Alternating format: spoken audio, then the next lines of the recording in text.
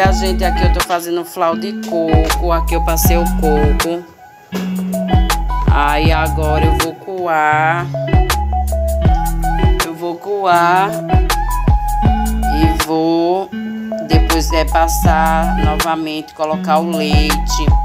Colocar a liga neutra e o açúcar. Daqui a pouco eu mostro pra vocês. Aqui é o coco. Passei, agora vou coar. Tá aqui, gente, eu coei. Certo? Aí vocês podem dizer por que tá é, com escuma. Mas quando eu passar aqui, botar o açúcar, botar o leite de pó, né? Que no caso aqui eu fiz, eu fiz na água, né? Aí quando eu colocar o leite de pó, a liga neutra, é, o açúcar, aí eu vou deixar na geladeira, entendeu? Pra baixar aqui essa espuma. E depois eu vou tá, né? É, tirando, né? Vou deixar um na geladeira pra baixar, depois eu vou estar passando na colher. E em seguida eu vou estar embalando, certo? Eu vou mostrar pra vocês. Porque não tem como eu deixar gravando todo o procedimento assim, sem dar pausa, porque é, aqui no a reglagem que eu tinha quebrou, certo? É por isso que eu tô dando uma pausa assim, tá certo? Mas eu vou mostrar pra vocês, tá bom? Olha, gente, aqui. Aqui tô passando, aqui no liquidificador.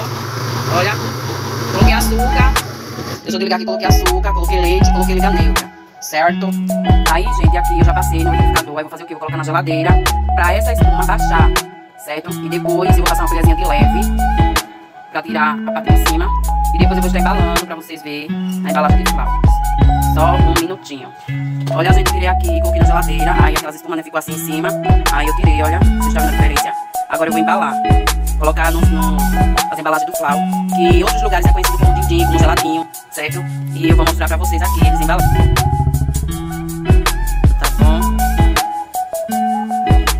Olha, gente, como ficou.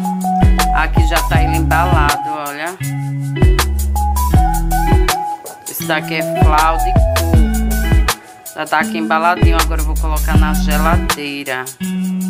Esse foi meu vídeo de hoje, espero que vocês tenham gostado. Não se esqueça, você não é inscrito, não se esqueça de se inscrever aqui no canal, deixar o seu like, que é muito importante, e comentar também, certo, meus amores? Que Deus abençoe a todos vocês e até o próximo vídeo. Espero que vocês tenham entendido, certo?